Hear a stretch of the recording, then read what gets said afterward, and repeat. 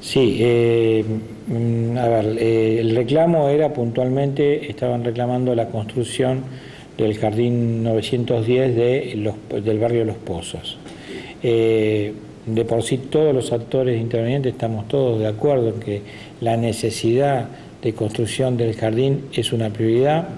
y tal es así que en la unidad educativa de gestión distrital hace más de tres años que está priorizado como número uno en el distrito.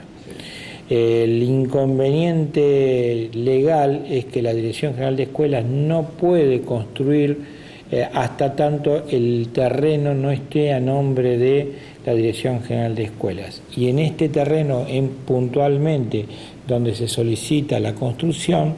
eh, es un terreno donado por un particular que este,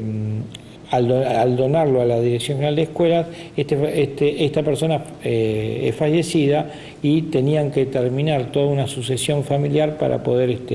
hacer eh, la escrituración de, dicho terreno a nombre de Dirección General de Escuelas. Ese, todo ese trámite lleva más de, comenzó en el año 2005 y lo venimos siguiendo constantemente. Y en, el día de ayer, cuando nos reunimos con la señora Intendente Municipal y con este, eh, los padres, se habló justamente de, de, esta,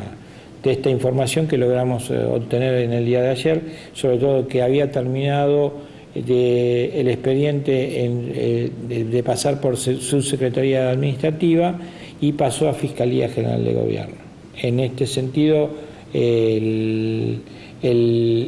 paso final en Fiscalía General de Gobierno es la aceptación de ese donativo y la comunicación a todas las partes intervinientes, ya van a ser eh, eh, familiares, este, eh, la rama, el distrito, comunicando la aceptación de dicha donación. Una vez que pasa esa instancia, pasaría a escriturarse en la Dirección General de Escuelas, en la Escribanía General de Gobierno, para poder hacer la escritura del, terreno. Y una vez eh, que se hace ese paso, podríamos empezar a tramitar la construcción de un jardín. El adelanto, que fue el que logramos ayer hablando eh, a La Plata, es que